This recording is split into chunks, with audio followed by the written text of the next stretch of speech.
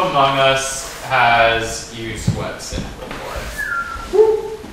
Okay, wow, almost everybody, almost everybody here.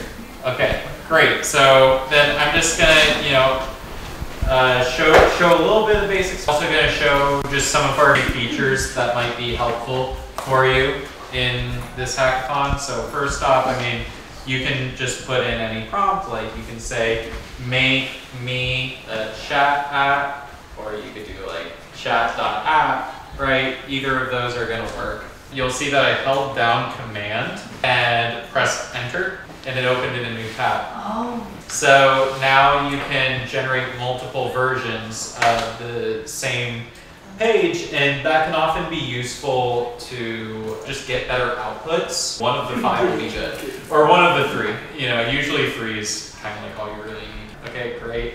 Uh, let's just say start the chat. Yeah, uh, start the chat app.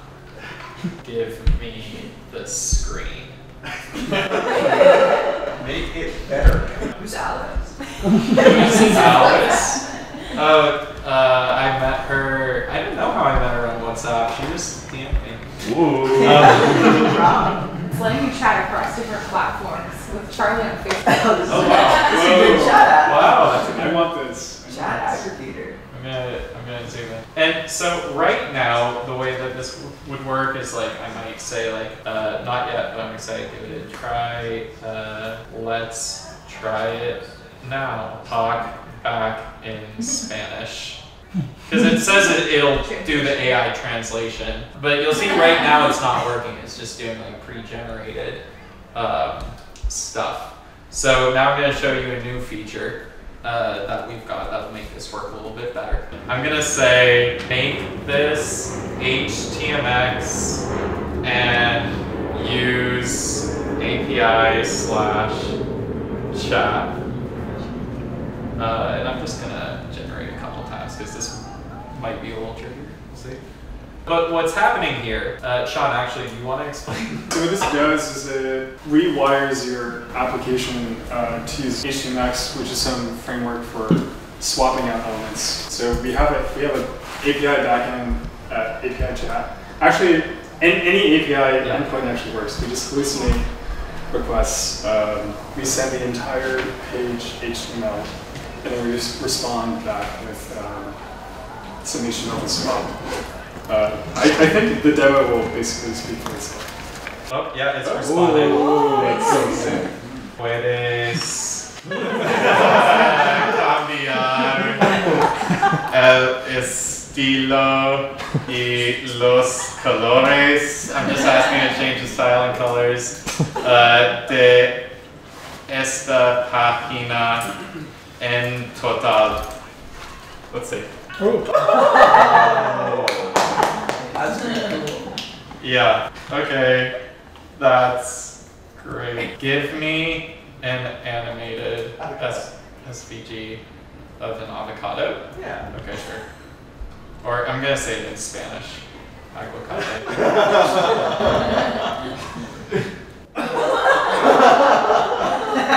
It's a happy avocado. it's so happy. Make it, make it laugh.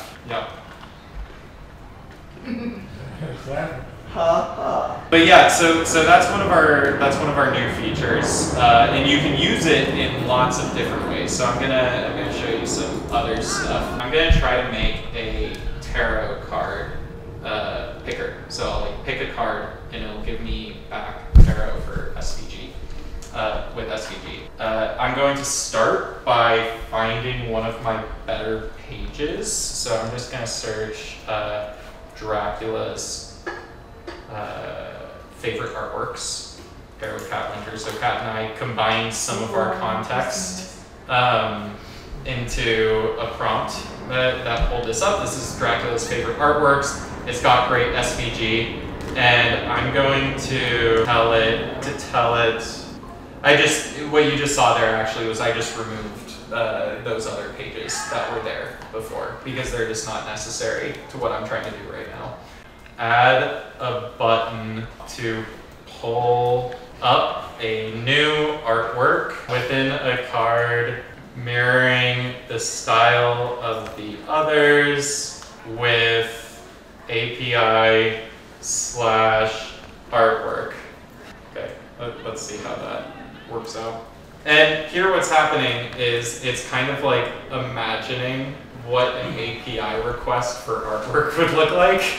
um, you know, and so it's gonna pull back that like structured data that should work just like in here um, with the styles that have been defined elsewhere on the page. I mean, these are all kind of like similar to it's each other, similar. but like, Yeah. yeah, yeah. So how should I prompt this, Sean? Um, just modify it with, before with API artwork, just use HTML. Or yeah, maybe just say use HTMX. Uh, use HTMX. Just try that. Yeah. So Sean, can you just describe what exactly that changes by like me adding that prompt Well, use? before it was returning JSON, um, which is, I mean, if we're trying to see visuals, uh, generally you want you want to return HTML. It makes less of a complicated page for the AI to generate, so it's it is able to do more in the small spaces that's available. Yeah, Is it's it like an iframe or? No, I think it was com- it was just a Yeah, it's not quite. I was getting- thinking direction. it's like a full yeah it's just, it's a full page. Yeah. Yeah, so if we can maybe just like trust that I could massage this to, to work. the surprise is part of it. Um, I have one here that does work. Uh, Cosmic Tarot Realm and Summon Cosmic Card. So how is this one made? How is this one made? So here's the prompts. Make The- it even cooler. The first is use HTMX to create a new tarot card generator uh, using API slash new card. And then I said make the SVG cooler. And then I said make the SVG even cooler. And that, that was like the third prompt. Um, and like like the, the, the actual functionality of this all happened within one prompt. I just wanted it to be a lot prettier because I know Claude can do a really good job with SVG. Yeah, good job, Claude. And then here, what I could do too.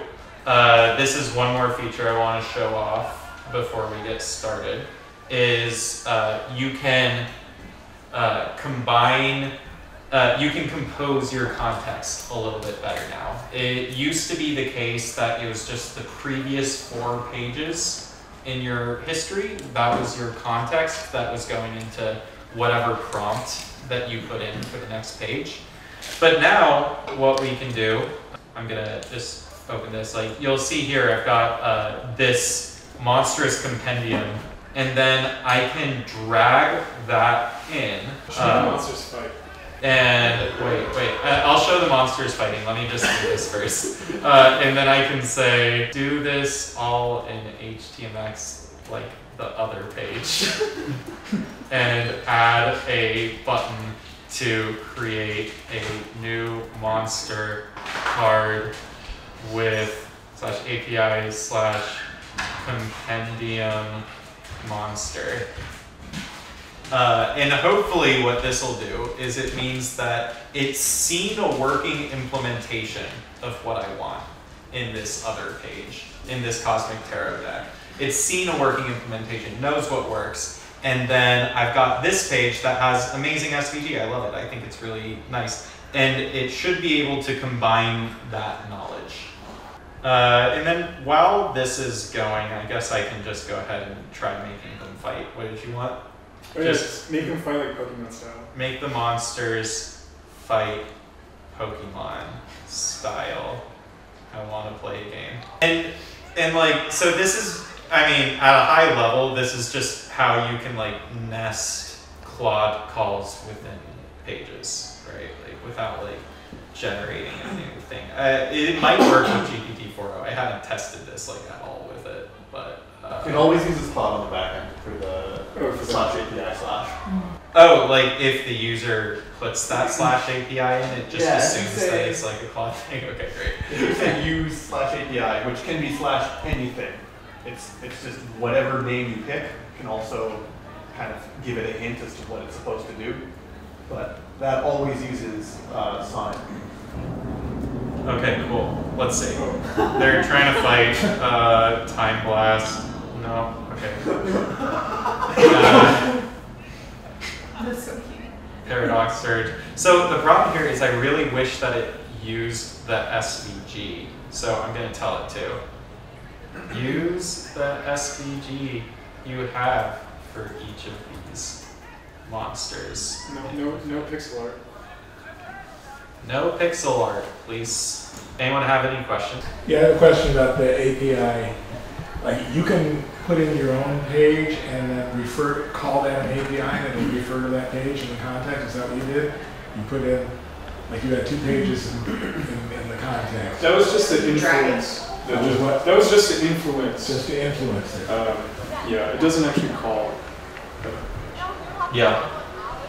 And that's something else that you might want to know maybe for it is like, uh, if if I gen- if if I'm like in I don't know Rudy's Boom Boom Room and uh, and I'm making and I'm like chatting with it and it's using this to do the chat in line, but then I go to another page, it's not gonna know anything about what the chat was, right? Because that was all kind of like self-contained right there. It's not the same as like. Yes, it looks like it, it, it did a decent job. It's not- with. Continue. You can't like freeze a page with like nested completions within it and then like loom over that or like generate on top of it. Uh, yeah, say- not yet. What, what do you mean you say nested completions? Like the thing that Rob was doing where he, he was like talking to like within the, the chat. Mm-hmm. Yeah. It's only gonna see the original. Correct. So if he ah. reloaded the window, all of the new tarot cards would disappear and you have to create them again, but they'd be different every time. Interesting. It Right. It seems like you should only do the nested feature once you have a page you're really happy with. Because otherwise you're gonna lose the nesting. Mm-hmm. If you Yeah, I mean, maybe in the future we'll like save the nesting. just Yeah. freeze. Probably would. Yeah, freeze, Just freeze free, the state. Freeze the state, Yeah. and then Freeze that state become, and and then that, do it. that becomes the context for the next prompt. Yeah, yeah, yeah. Totally. Coming soon. Paradox I search. appreciate Yeah. dark mode. Oh yeah. Oh yeah. Dark mode. Shout out. dark mode. That was the biggest feature request for quite some time. Oh yeah. Great. If anyone has any more questions. Show the edit feature where you can edit. Oh, right, right, right, right. Good point. Let's say, let me try doing that here. I'm gonna say edit, change, font, and color. And it just edited that. And it's super fast because it's just for edits. You could probably achieve the same with uh, a full text prompt, but the benefit of this is how fast it comes back on a round trip.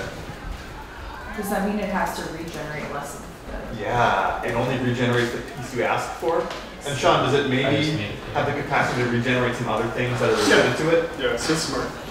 It tries to be smart. Yeah.